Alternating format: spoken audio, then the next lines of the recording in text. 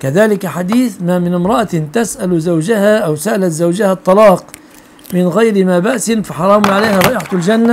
سنده ضعيف كذلك.